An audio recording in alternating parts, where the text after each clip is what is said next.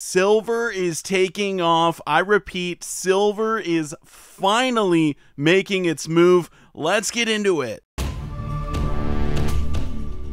SD Bullion is giving away a monster box of 2024 Tree of Life silver coins. Sign up today at sdbullion.com slash sweepstakes. Thank you so much for watching. I do sincerely appreciate it. Silver is now over $27 an ounce.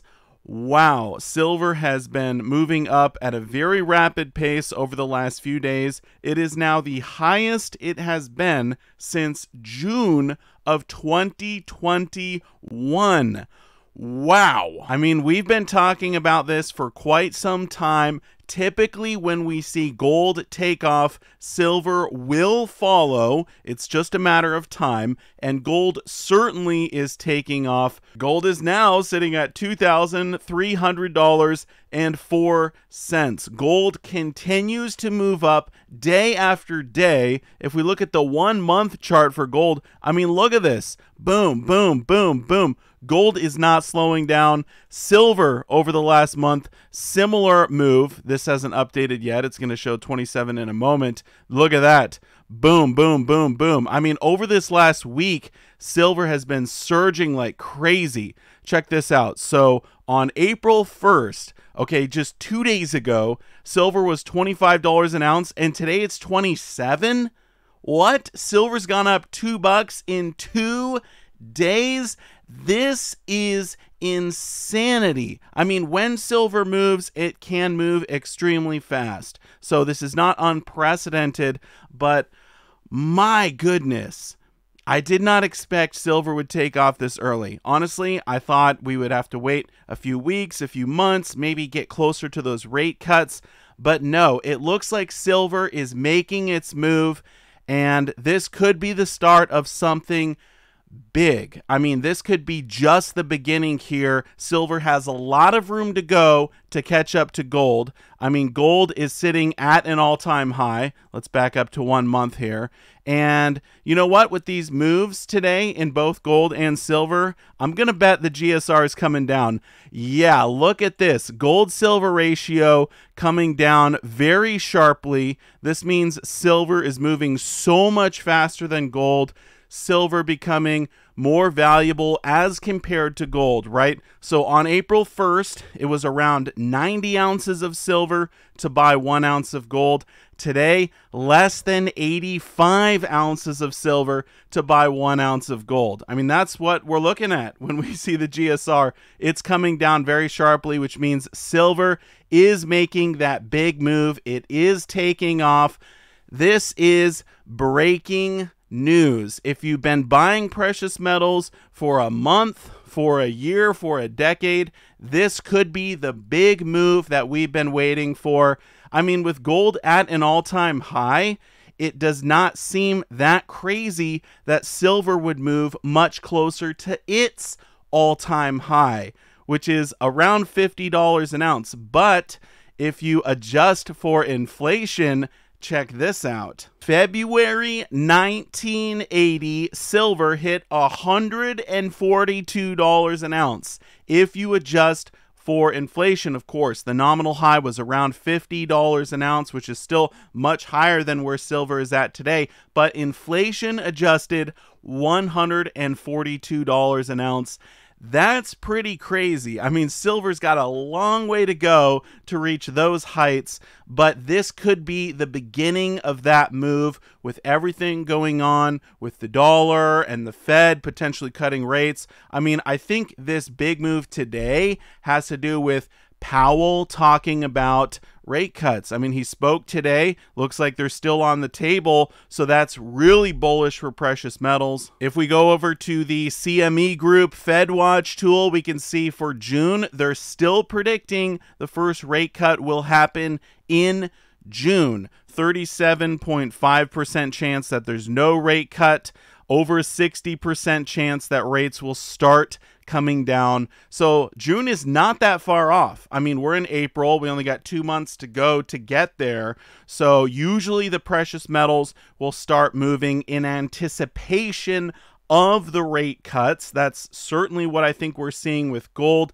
Silver now finally starting to play catch up. A lot of us have been talking about this for a very long time, and I'm really excited because I think this could be the moment we've all been waiting for, where silver finally starts to shine finally starts to show its true colors and just blow us away. It's interesting because Jerome Powell was kind of wishy washy when he was talking about the rate cuts today. He was saying, well, we still have time to deliberate. I mean, look at the headline here. Fed's Powell repeats, there is time to deliberate over rate cuts. So they're not sure. I mean, it's still on the table, obviously. He didn't say we're not cutting rates. But even with news like this, we still see metals take off. How much you want to bet the dollar's going down today? Yeah, check this out. I haven't even looked at the USDX today. I literally just pulled it up as I'm making this video, and the dollar is getting crushed. This is exactly what I would expect the dollar to be doing when silver is soaring because basically silver and the dollar are opposites. When we see silver absolutely skyrocketing, the dollar is probably getting crushed. Now, the dollar is still fairly high, all things considered. Let's go year to date. I mean, the dollar's been much lower than it is right now. If we go to five years, look how low the dollar was back in 2021. This right here is the last time we saw silver hit $27 an ounce. The dollar was getting crushed. I mean, the USDX, the dollar index was below 90 when silver was at 27. Now the USDX is at 104 and silver is at 27. Think about how much the dollar has to go down just to meet where it was at back in 2021 and silver is at the same place right now. So if silver continues to move up from here as the dollar moves down, I mean this could be really sensational. Now, let's come back down to earth, okay? I don't know what's going to happen in the future. I don't know what's going to happen to silver tomorrow or the next day or the next week. I mean, looking at the big picture, looking at everything, I'm guessing we're probably going to see some type of a pullback, some type of a correction at some point. I don't know if that's at $27, $29, $32. I don't no, but for now, silver is on a tear. It's moved up two bucks in two days.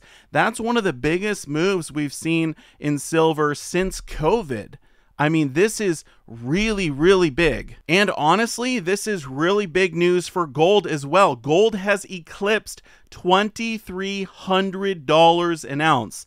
That's pretty crazy. I mean, I made a video yesterday and I posted it today. I'm doing a double video today because this is just so crazy. I never post two videos in one day. I think I've actually never done that before on my channel. I'd have to go back and look, but I think this is unprecedented. I think this is the first time I've ever done a double release. But how could I not make a video with all of this going on?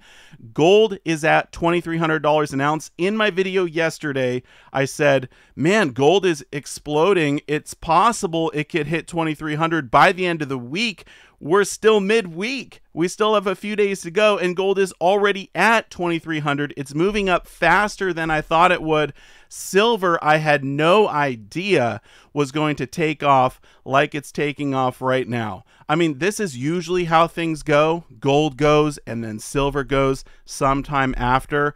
I think we're finally seeing that come into fruition. By the way, my other video that I posted today, the video over at Harry's Coin Shop, we have a quarter ounce gold giveaway going on in that video. So you're not going to want to miss it. There's a link in the description of this video, as well as a link here, uh, one of the end screen cards you can click on. Go watch that video, leave a comment, make sure you enter the quarter ounce gold giveaway. So there you go. Maybe you could win some free gold while all of this is happening. Thank you so much for watching, and I will see you all in my next one. Silver Dragons out.